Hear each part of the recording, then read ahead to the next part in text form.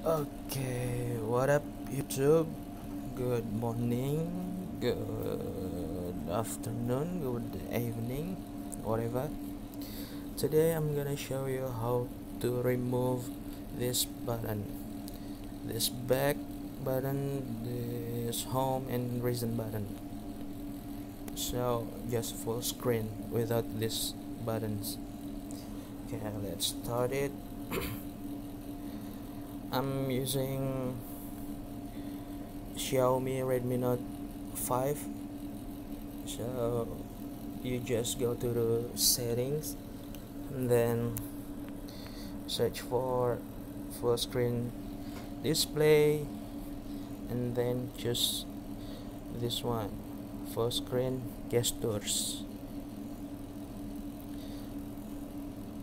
Okay here we go. Let's learn some. If you want to go to home just slide from the bottom of your uh, phone like this.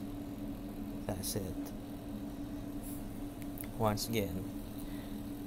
Oh, if you want to go to recent applications just uh, slide from this bottom and hold in the middle like that.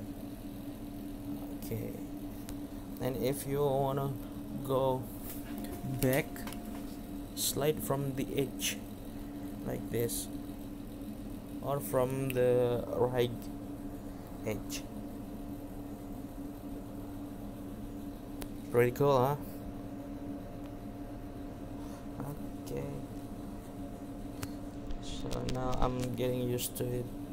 See like recent key back button. Okay I think that's it. I will call. Thanks for watching. Bye